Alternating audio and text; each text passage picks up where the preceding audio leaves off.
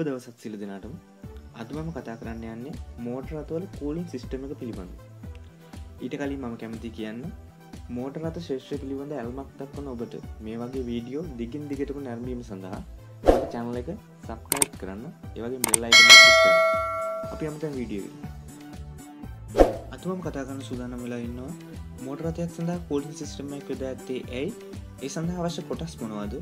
ඒවයි ක්‍රියාකාරජන් කෙසේද?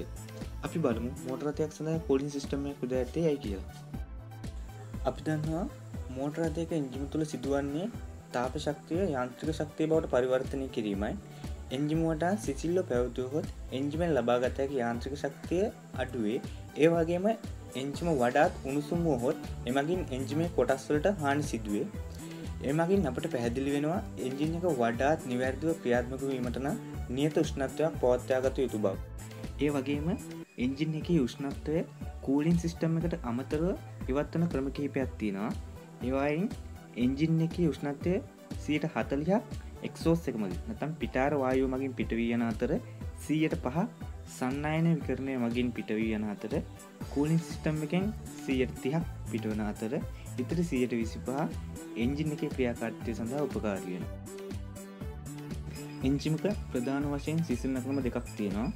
එයාකූලින් හා වෝට කූලින් එයාකූලින් කියන්නේ වායුවක් භාවිතා කරලා එන්ජින් එක සිසිල් කරගන්න ආකාරය. මෝට බයික් කොළවගේ තියෙන්නේ මෙන්න මේ සිිස්ටම් එක. වෝට කූලින් කියන්නේ ජලය හෝ පූලන්ටයක් ආධාරෙන් එන්ජින් එක සිසිල් කරගන්න ආකාරය.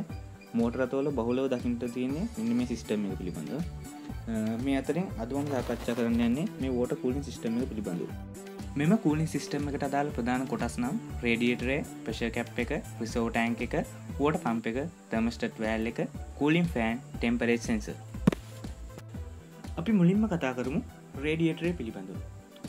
මෙම කූලින් සිිස්ටම් එක ප්‍රධාන උපකරනත්වම රේඩියටර කියන්න. මෙ රේඩියටරේ ඉහලින්සා පහලින් ටැන්කි දෙකක් පිහිටා ඇති අතර ඉහල ටැන්කිහි කූලන් දැමීම සඳහා විවරයක් නිර්මාණය කර ඒට පෙෂ කැප්පයක් යුද ඇත.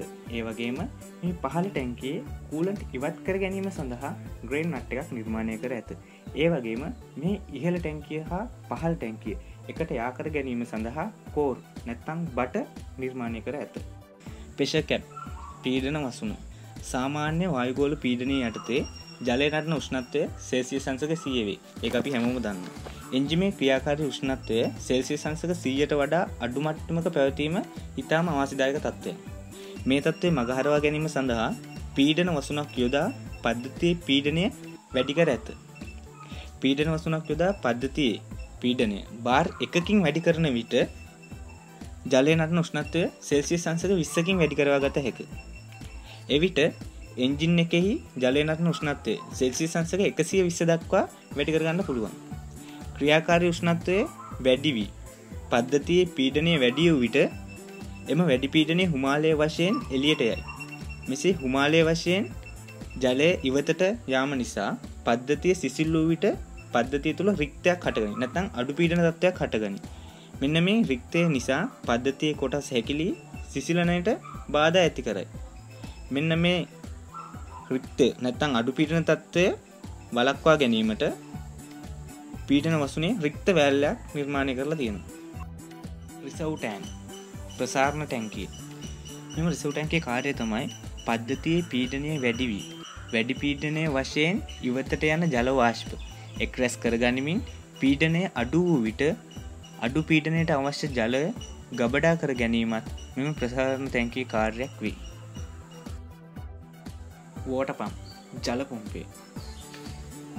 මෙම වෝට පම්පකෙන් සිදු කරන්නේ එන්ජින් එක හා රේඩියට්‍රේ. නිශ්චල ඇති ජලය එන්ජින් එක පණගැන්වීමත් සමඟ ජලය කරකවීම සිදුකරයි රේඩියට්‍රේටත් එන්ජින් එකටත් වගේ මේ දිගින් දිගටම කැරකීම සිදුකර නොක තර්මස්ටට් වැල් මෙම ටර්මස්ටට් වැල්ලක ප්‍රධාන කාරය තමයි එන්ජින් එක ක්‍රියාකාරිත්වය ඉක්මනින් ළඟා කරගන්න ඒ කියන්නේ වාහන ස්ටට් කරාට පස්සේ එන්ජින් එක තුළ තින ජලය රේඩියටරයට අන්ඩ දෙන්නතුව මෙන්න මේ තර්මස්ටටල්ලකින් වාගනින්නේ එන්ජින් එක නිසි ක්‍රියාකාරිත්වය නැතා නිසි උෂ්නත්වයට ආවට පස තමයි මෙන්න මේ තර්මස්ටට් වෑලක ඕපන් කරලා රේඩියටරේට ජලයන්ට සලස්සන්න.